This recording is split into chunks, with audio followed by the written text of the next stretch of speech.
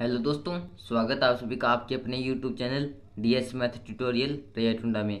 तो दोस्तों, आज की इस क्लास में हम पढ़ेंगे N C E R T कक्षा बारह, मैथ की प्रश्नावली तीन दशमलव एक का सवाल नंबर छः से लेकर सवाल नंबर दस तक। सवाल नंबर एक से लेकर सवाल नंबर पाँच तक प्रश्न मैं पिछले वीडियो में करवा चुका हूँ और उसकी लिंक मैं इस वीडियो की डिस्क्रिप्शन में दे दूँगा। तो वहाँ से जाकर आप सवाल नंबर एक से सवाल नंबर पाँच तक के हल देख सकते हैं। और आज की इस वीडियो में हम पढ़ेंगे सवाल नंबर छः से लेकर सवाल नंबर दस तक। तो यहाँ पर शुरू करते हैं। तो सवाल नंबर छः हमारा कि निम्नलिखित समीकरणों से एक्स वाई तथा जेड के मान ज्ञात करो। तो यहाँ पर हमें सवाल नंबर छः में तीन समीकरण, यानी इसके अंदर तीन पॉइंट है तो इनसे हमें एक्स और एक्स और वाई के मान ज्ञात करने हैं। तो पहला है हमारा कि ये अवयु है एक, चार, तीन एक्स पाँच, ये हमारा दो इंटू दो कोटि का एक अवयु है, यानी दो ही पंक्ति है इसके अंदर, दो ही स्तंभ है। और इसके बराबर में है दो इंटू दो कोटि का एक अवयु है, जिसके अंदर वाई है जेड है, एक है, पाँच है। तो अब इस समीकरण के माध्यम से हमें ज्ञात करना है एक्स वाई और जेड का मान। तो सबसे पहले तो लिखते हैं इसका हल। तो यहाँ पर लिखते हैं हल। अब दोस्तों, हम जानते हैं कि एक बात इम्पोर्टेंट होती है, वो होती है कि कि अब जब कोई दो अवयव बराबर होते हैं और दो अवयव बराबर होते हैं और दोनों की कोटि समान होती है, यानी अगर इसकी कोटि दो इंटू दो है तो इसकी दो इंटू दो है।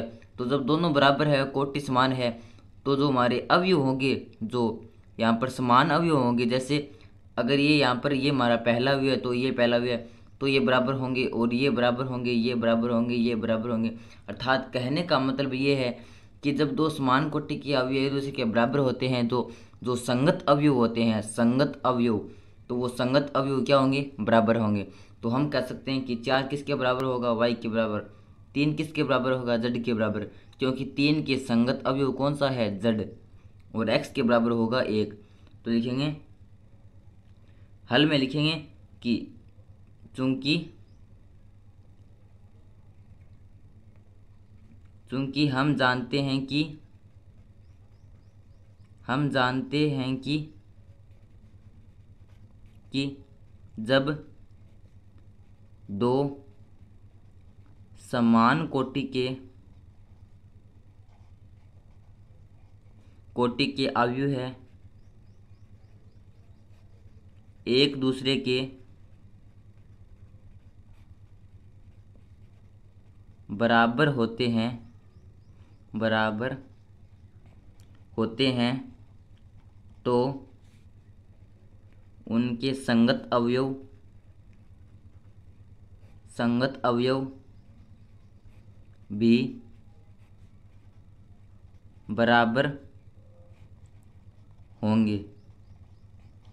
इसलिए इसलिए हम कह सकते हैं कि चार बराबर वाई, तीन बराबर जड व एक्स बराबर एक, यानी हम कह सकते हैं कि x का मान है एक, y का मान है चार व z का मान है तीन।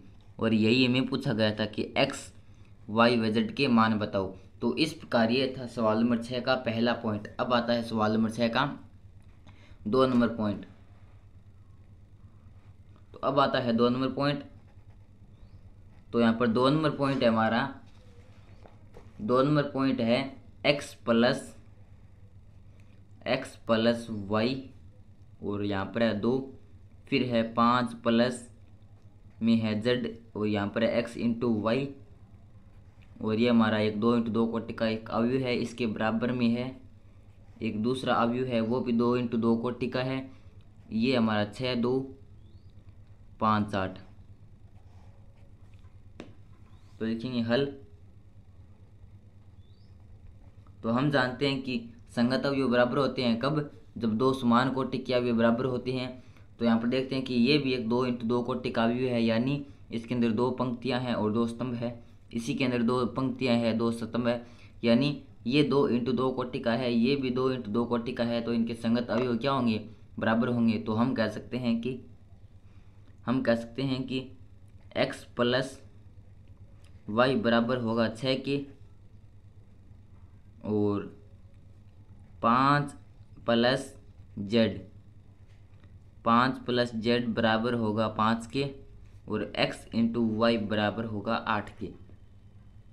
तो इस कार्य तो इस प्रकार ये बन गई हमारी तीन समीकरण कि x प्लस वाई बराबर छः, पाँच प्लस जेड बराबर पाँच और पाँच प्लस जेड बराबर पाँच और x इंटू वाई बराबर आठ।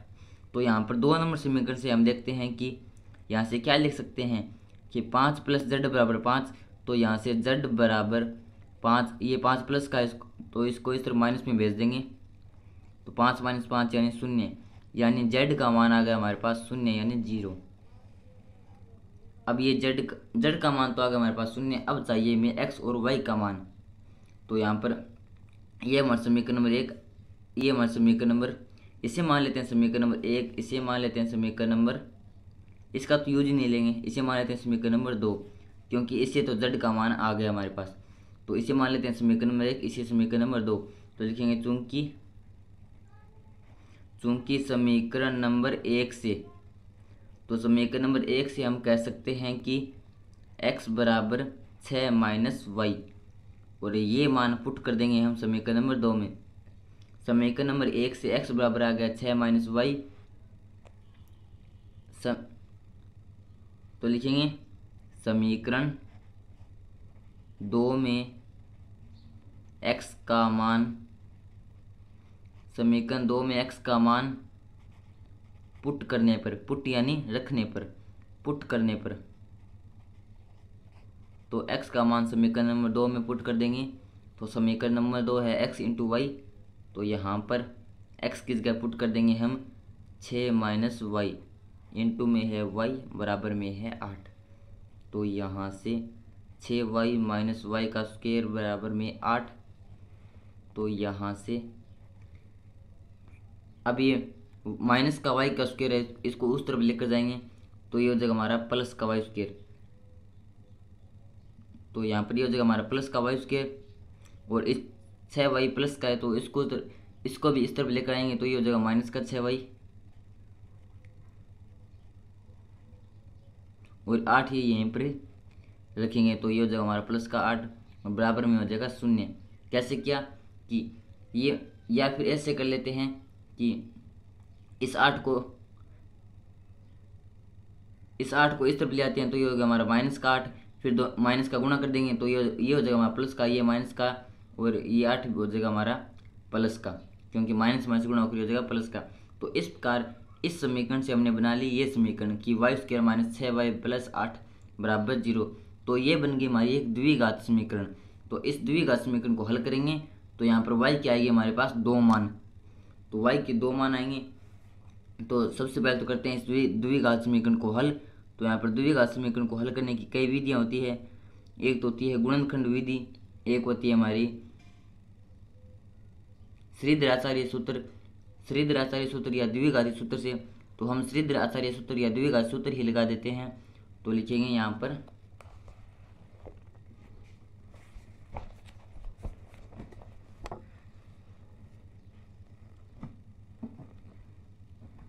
समीकरण है हमारी वाई स्क्र माइनस छः वाई प्लस आठ बराबर ज़ीरो वाई स्क्र माइनस छः वाई प्लस आठ बराबर ज़ीरो वाई स्क्र माइनस छः वाई प्लस आठ बराबर ज़ीरो। अब इसको करेंगे हल तो लिखेंगे तो लिखेंगे श्रीधर आचार्य सूत्र। श्री धराचार्य सूत्र या द्विघाती सूत्र, या द्विघाती सूत्र से। तो श्रीधराचार्य सूत्र क्या होता है? यहाँ पर y है तो श्रीधराचार्य सूत्र होता है y बराबर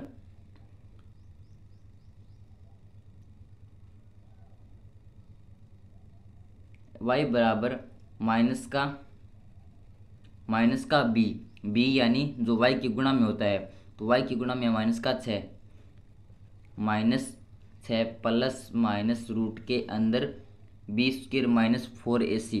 तो यहाँ पर जो वाई स्क्वेयर की गुणा में वो हमारा वो हमारा एक और छः वाई के गुणा में है, वो हमारा बी और ये हमारा सी तो वाई के गुणा में है एक तो यहाँ पर ए का मान है हमारे पास एक बी का मान है माइनस का छः और सी का मान है आठ। तो अब इन, इसको हल करेंगे तो वाई बराबर माइनस का बी प्लस माइनस रूट के अंदर बी स्क्र यानी माइनस छः का स्क्वेयर यानी छत्तीस। क्योंकि माइनस का स्क्वेयर करेंगे तो वो जगह प्लस का। B square minus four into A A यानी वाई की वाई स्क्वेयर के गुणा में क्या है? एक एक इंटू सी सी है हमारे पास आठ। और ये श्रीधर आचार्य सूत्र या द्विघाती सूत्र हम कक्षा दस में पढ़ चुके हैं तो बट्टे में आ जाएगा टू ए। दो इंटू ए ए का मान है, वाई स्क्वेयर के गुणा में वो ए तो ए का मान है एक एक। तो यहाँ से छ प्लस माइनस रूट के अंदर छत्तीस माइनस आठ सौ के बत्तीस बट्टे में दो। तो यहाँ से छ प्लस माइनस छत्तीस माइनस दो यानी, सॉरी, छत्तीस माइनस बत्तीस यानी चार, और चार का रूट यानी दो बट्टे दो। तो यहाँ से y बराबर अब एक बार प्लस का चिन्ह ले लेंगे, एक बार माइनस का चिन्ह ले लेंगे। तो छः प्लस दो बट्टे दो या वाई बराबर छ माइनस दो बट्टे दो। तो यहाँ से y बराबर छः दो आठ आठ बटे दो यानी चार या y बराबर छः माइनस दो यानी चार चार बटे दो यानी दो। तो इस प्रकार y का एक तो मान आया चार, एक मान है हमारे पास दो। अब यहाँ पर y का चार आया और सॉरी y का एक तो चार आया, एक दो आया अब दोनों मान हम कोई भी समीकरण में पुट कर देंगे तो वहाँ से x के भी दो मान आ जाएँगे। और z का हमने ज्ञात कर दिया, z बराबर ज़ीरो तो यहाँ पर y बराबर चार और y बराबर दो। तो यहाँ पर हम देखते हैं कि ये मान हम समीकरण नंबर, हम समीकरण नंबर या तो एक में पुट कर सकते हैं या दो में पुट कर सकते हैं।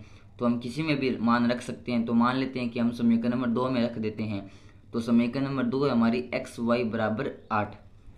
तो समीकरण नंबर दो हमारी एक्स इंटू वाई बराबर आठ। तो लिखेंगे, चूँकि चूँकि एक्स इंटू वाई बराबर आठ ये हमारे समीकरण नंबर दो। तो लिखेंगे तो लिखेंगे वाई का मान का मान पुट करने पर तो एक बार तो चार रखेंगे तो वाई का मान चार रखेंगे तो एक्स इंटू चार बराबर आठ तो यहाँ से एक्स बराबर आठ इंट बट्टे चार बराबर दो तो एक तो आ गया एक्स बराबर दो, या या x इंटू एक बार रख देंगे वाई की जगह दो बराबर आठ तो यहाँ से एक्स बराबर आठ बटे दो एक्स बराबर आठ बटे दो तो यहाँ से एक्स बराबर चार। तो एक्स का मान एक तो आ गया हमारे पास दो, एक आ गया चार और वाई का मान भी दो, एक तो चार, एक दो। तो जब वाई का मान चार, तब एक्स का मान दो। जब वाई का मान दो, तब एक्स का मान चार और जेड का मान आ गया हमारे पास शून्य। तो इस प्रकार ये था हमारा सवाल नंबर छः का दो नंबर पॉइंट। अब आता है सवाल नंबर छः का तीन नंबर पॉइंट। छः नंबर सवाल का तीन नंबर पॉइंट और वो हमारा कि एक अवयव है। जिसके अंदर तीन पंक्तियाँ हैं और एक स्तंभ है यानी ये हमारा तीन इंटू ए कोटि का अवयव है। ये भी तीन इंटू ए कोटि का अवयव है क्योंकि इसके अंदर तीन पंक्तियाँ हैं और एक स्तंभ है।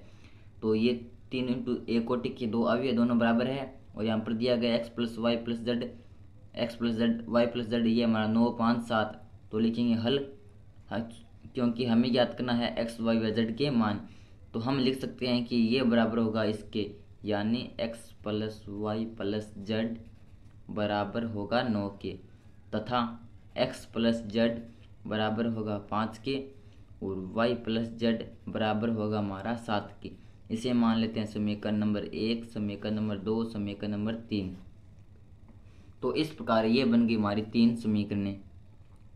अब हमें ज्ञात करना है यहाँ से एक्स, वाई वाई, जेड के मान। हम देखते हैं कि समीकरण नंबर एक में यहाँ पर हमारा X plus Y plus Z यहाँ पर देखते हैं कि वाई प्लस जेड और यहाँ पर हमें वाई प्लस जेड का मान भी दे रखा है कितना? सात। तो यहाँ पर वाई प्लस जेड की जगह हम पुट कर देंगे? सात। तो यहाँ पर हम लिखेंगे कि समीकरण, हम लिखेंगे कि कि समीकरण तीन से वाई प्लस जेड बराबर सात समीकरण नंबर एक में, समीकरण नंबर एक में रखने पर। तो y प्लस जेड बराबर सात समीकरण नंबर एक में रख देंगे। तो समीकरण नंबर एक का हमारी x plus Y plus Z बराबर नौ। समीकरण नंबर एक का हमारी x plus Y plus Z बराबर नौ। तो y प्लस जेड की जगह रख देंगे सात बराबर नौ। तो यहाँ से x बराबर नौ माइनस सात यानी दो। तो इस प्रकार x का मान आ गया हमारे पास दो। अब x का मान दो हम रख देंगे समीकरण नंबर दो में। तो समीकरण नंबर दो में x की जगह पुट कर देंगे हम। x की जगह पुट कर देंगे हम दो। तो x की जगह पुट दो पुट करेंगे। तो दो चला जाएगा इधर पाँच के माइनस में। पाँच माइनस दो यानी तीन। तो z का मान आ जाएगा हमारे पास तीन। तो यहाँ पर लिखेंगे। x बराबर दो। समीकरण नंबर दो में रखने पर। तो यहाँ से समीकरण नंबर दो है हमारी। एक्स प्लस जेड तो एक्स की जगह करेंगे दो प्लस जेड बराबर पाँच। तो यहाँ से जेड बराबर पाँच माइनस दो यानी तीन। तो जेड का मान आ गया हमारे पास तीन एक्स का मान आ गया हमारे पास दो। और अब यहाँ पर समीकरण नंबर तीन में जेड की जगह पुट कर देंगे हम तीन। तो लिखेंगे। समीकरण नंबर तीन में जेड बराबर तीन पुट करने पर, यानी रखने पर। तो समीकरण नंबर तीन है हमारी वाई प्लस जेड बराबर सात। वाई प्लस जेड तो जेड की जगह पुट कर देंगे तीन बराबर सात। तो यहाँ से वाई बराबर सात माइनस तीन यानी चार। तो इस प्रकार वाई का मान आ गया हमारे पास चार जेड का मान आ गया हमारे पास तीन और एक्स का मान आ गया हमारे पास दो। एक्स का दो वाई एक्स का दो वाई का चार जेड का तीन और यही हमें ज्ञात करना था। तो तो सात नंबर सवाल है कि समीकरण, अब यहाँ पर ये एक हमारा दो इंटू दो का अव्यू है, ये भी दो इंटू दो का अव्यू है, दोनों बराबर दिए गए हैं तो ये बन गए हमारी एक समीकरण। से ए बी सी व डी के मान ज्ञात करो। तो इससे हमें ज्ञात करने A B A B C व डी के मान। तो ये सवाल सेम टू सेम सवाल नंबर छः की तरह ही है। बस उसके अंदर एक्स वाई व जेड के मान थे, इसके अंदर ए बी व सी के मान है। तो यहाँ पर सबसे पहले तो लिखते हैं हम हल। तो हम जानते हैं कि संगत अवयव बराबर होते हैं। तो यहाँ पर ए माइनस बी के संगत अवयव हमारा माइनस का एक, दो ए प्लस सी बराबर पाँच दो ए माइनस बी बराबर है हमारा ज़ीरो, तीन सी प्लस डी बराबर है हमारा तेरह। इसे मान लेते हैं समीकरण एक, इसे समीकरण नंबर दो, समीकरण नंबर तीन, समीकरण नंबर चार। तो इस प्रकार बना लिए हमने समीकरण चार। यानी यहाँ पर चार समीकरणों का निर्माण हो गया। अब इन्हीं चार समीकरणों का उपयोग करके हम ज्ञात करेंगे ए, बी, सी व डी के मान। तो हम देखते हैं कि समीकरण नंबर एक से ए का मान निकाल कर पुट कर देंगे समीकरण नंबर दो, तीन में। तो लिखेंगे समीकरण एक से तो समीकरण एक से क्या कह सकते हैं कि ए बराबर माइनस का एक, अब यहाँ पर माइनस बी है तो इसको इस तरह भेजेंगे तो यह जगह हमारा माइनस एक के प्लस में बी तो ए का मान आ गया हमारे पास माइनस एक प्लस बी समीकरण नंबर तीन में पुट करने पर, समीकरण नंबर तीन में रखने पर। तो समीकरण नंबर तीन है हमारी। दो इंटू ए एक की जगह रख देंगे माइनस का एक प्लस बी और माइनस में बी बराबर है हमारा शून्य। तो यहाँ से दो का अंदर गुणा कर देंगे तो माइनस का दो माइनस का, दो का अंदर गुणा कर देंगे तो माइनस का दो प्लस में दो बी माइनस बी बराबर शून्य। तो यहाँ से ये दो बी माइनस बी यानी बी बच गया। तो माइनस दो प्लस बी बराबर शून्य। तो यहाँ से बी बराबर माइनस दो उधर जाएगा तो ये हो जाएगा हमारा प्लस का दो। तो बी का मान आ गया हमारे पास दो।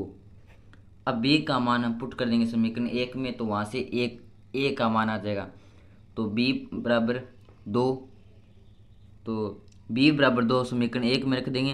तो लिखेंगे समीकरण एक में समीकरण नंबर एक में बी बराबर दो पुट करने पर। तो समीकरण नंबर एक है हमारी ए माइनस बी तो बी की जगह रख देंगे दो बराबर माइनस का एक। तो यहाँ से ए बराबर माइनस का एक, दो उधर जाएगा तो ये जगह प्लस का दो। तो दो माइनस एक यानी एक। तो ए का मान आ गया एक। अब ए का मान पुट कर देंगे समीकरण नंबर दो में तो लिखेंगे समीकरण दो में ए बराबर एक रखने पर। तो समीकरण नंबर दो में ए बराबर एक रखेंगे तो यहाँ पर समीकरण नंबर दो है हमारी, दो इंटू ए ए की जगह कर देंगे एक प्लस में सी बराबर पाँच तो यहाँ से सी बराबर पाँच माइनस दो यानी तीन। तो सी का मान आएगा हमारे पास तीन। अब सी का मान पुट कर देंगे समीकरण नंबर चार में तो वहाँ से आ जाएगा हमारे पास डी का मान। तो लिखेंगे तो लिखेंगे समीकरण तो लिखेंगे सी बराबर तीन, समीकरण नंबर चार में पुट करने पर।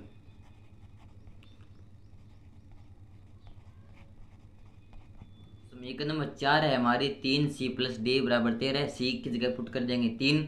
तो यहाँ से तीन इंटू तीन प्लस डी बराबर तेरह तो यहाँ से नौ प्लस डी बराबर तेरह तो यहाँ से डी बराबर तेरह माइनस नौ यानी चार। तो इस प्रकार डी का मान आ गया हमारे पास चार। डी का मान आ गया हमारे पास चार।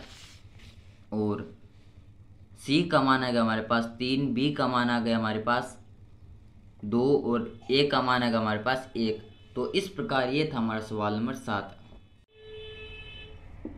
अब आता है सवाल नंबर आठ। सवाल नंबर आठ है कि ए हमारा एक अवयव है, जिसके अंदर ए, आई, जे, यानी ए अवयव है और आई का मान है, पंक्ति जे का मान है, स्तंभ।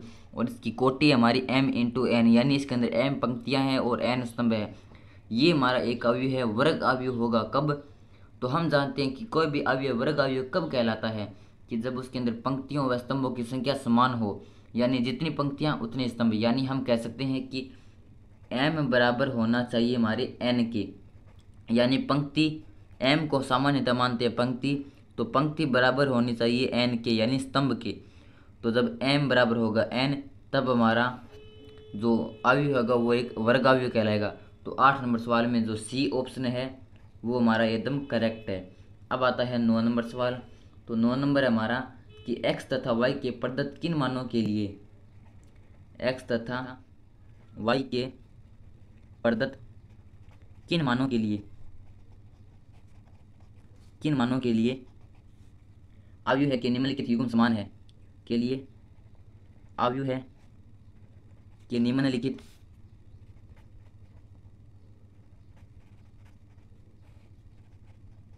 युग्म समान है। तो यहाँ पर अव्यय दिया गया हमें तीन एक्स प्लस सात, पाँच वाई प्लस एक, दो माइनस तीन एक्स और एक का व्यू दिया गया हमें ज़ीरो वाई माइनस दो, आठ, चार। तो यहाँ पर हमें पूछा गया है कि हमें पूछा गया है कि यहाँ पर हम इस तीन एक्स माइनस तीन एक्स प्लस सात के बराबर करेंगे शून्य, पाँच के बराबर करेंगे वाई माइनस दो वाई वाई प्लस वन के बराबर करेंगे आठ, दो माइनस तीन एक्स के बराबर करेंगे चार। तो हमें पूछा गया कि यहाँ पर एक्स व वाई का मान किन मानों के लिए हमारे जो निम्नलिखित युगों में समान होंगे? यानी हम यहाँ पर इसके बराबर करेंगे ये, इसके बराबर करेंगे ये और इसके बराबर करेंगे ये। तो यहाँ से ये तीन समीकरण बन जाएँगे और तीनों समीकरणों से हम ज्ञात करेंगे एक्स व वाई व एक्स वाई के मान। तो फिर हमें देखना है कि एक्स व वाई के मान आते हैं या नहीं हैं। तो जब मान आ जाएँगे तो उन मानों के लिए दोनों हमारे अवयव क्या हो जाएँगे? समान हो जाएँगे। अगर नहीं आएँगे तो हम कह सकते हैं कि यहाँ पर मान नहीं आ रहे हैं तो यहाँ पर हम कह सकते हैं कि ज्ञात करना संभव नहीं है। तो यहाँ पर ये इसका ऑप्शन होगा तो बी यानी इनमें ज्ञात करना संभव नहीं है, क्योंकि यहाँ पर एक्स वाई वाई के मान आएँगे नहीं। तो अब इनको हम ज्ञात कर कर देखते हैं कि क्यों नहीं आते हैं। तो लिखेंगे तो हम देखते हैं कि हमें करना इन्हें बराबर तो तीन एक्स प्लस सात के बराबर करते हैं हम शून्य, और और इसके बराबर कर, दो माइनस तीन एक्स के बराबर करते हैं चार, और वाई प्लस वन के बराबर करते हैं आठ, और इस वाई माइनस दो के बराबर करते हैं ये पाँच। तो इस प्रकार ये बन गई चार समीकरणें। अब यहाँ पर हम क्या करेंगे? कि इस समीकरण से हम एक्स का मान निकालेंगे और समीकरण नंबर दो से भी हम एक्स का मान निकालेंगे। फिर देखते हैं कि यदि वो दोनों मान बराबर आ गए आ गए तो तब तो ये हम यहाँ पर कह सकते हैं कि एक्स का मान हम निकाल सकते हैं। अगर दोनों मान बराबर नहीं आए कि यहाँ पर एक्स का मान कुछ आ रहा है, यहाँ पर कुछ आ रहा है तो हम कह सकते हैं कि ये मान जो याद करने संभव नहीं है। तो समीकरण नंबर एक से, समीकरण नंबर एक से हम देखते हैं कि तीन एक्स बराबर लिख सकते हैं, प्लस का साथ उस तरफ़ भेज देंगे तो माइनस का साथ, यहाँ से एक्स बराबर माइनस का साथ बट्टे तीन। तो एक नंबर समीकरण से हम क्या देखते हैं कि एक्स बराबर माइनस सात बट्टे तीन। अब इसी प्रकार समीकरण नंबर दो से तो समीकरण नंबर दो से हो जाएगा हमारा माइनस का तीन एक्स बराबर में चार। अब दो है उस तरफ़ भेज देंगे तो माइनस का दो। तो यहाँ से माइनस का तीन एक्स बराबर चार माइनस दो यानी दो। तो एक्स बराबर दो बट्टे माइनस के तीन। तो यहाँ पर देखते हैं कि समीकरण नंबर दो से तो एक्स का मान कुछ आ रहा है और समीकरण नंबर एक से एक्स का मान कुछ आ रहा है। तो हम कह सकते हैं कि यहाँ पर एक्स के मान है वो अलग अलग आ रहे हैं। तो हम कह सकते हैं कि यहाँ पर जो मान है वो ज्ञात करने संभव नहीं है। तो यहाँ पर जो बी ऑप्शन है वो हमारे एकदम करेक्ट हो जाएगा। और अब अब आता है हमारा प्रश्नावली पाँच सॉरी प्रश्नावली तीन दशमलव एक का सवाल नंबर दस। तो दस नंबर सवाल कहता है कि तीन इंटू तीन कोटि के एक ऐसे अवयव की कुल कितनी संख्या के ऐसे अवयवों की कुल कितनी संख्या होगी जिनकी प्रत्येक प्रविष्टि ज़ीरो या एक है? तो प्रविष्टि का मतलब होता है कि जो जो अवयव है के अंदर जो संख्याएँ होती है, जो हमारे अवयव होते हैं, उन्हें बोलते हैं प्रविष्टि। तो प्रविष्टि का मतलब होता है अवयव है कि अवयव। तो यहाँ पर हम कहा गया कि जो अवयव है, उसकी प्रत्येक प्रविष्टि या तो ज़ीरो है या एक है। यानी हम उस अवयव के जो हमारा अवयव है, उसकी जगह हम या तो शून्य रख सकते हैं या एक रख सकते हैं। कैसे? कि यहाँ पर हमारा एक तीन इंटू तीन कोटि का अवयव है, यानी तीन पंक्तियाँ या तीन स्तंभ है। तो यहाँ पर हम जो पहला अवयव है, इसकी जगह या तो शून्य रखते हैं या रख सकते हैं या एक रख सकते हैं। इसी प्रकार इसी, इसकी जगह भी या तो शून्य रख सकते हैं या एक रख सकते हैं। इसी की जगह भी या तो शून्य रख सकते हैं या एक रख सकते हैं। इसी प्रकार यहाँ पर भी या शून्य रख सकते हैं या एक यहाँ पर भी या शून्य रख सकते हैं या एक। यहाँ पर भी शून्य या एक, यहाँ पर भी शून्य या फिर एक, यहाँ पर भी शून्य या फिर एक।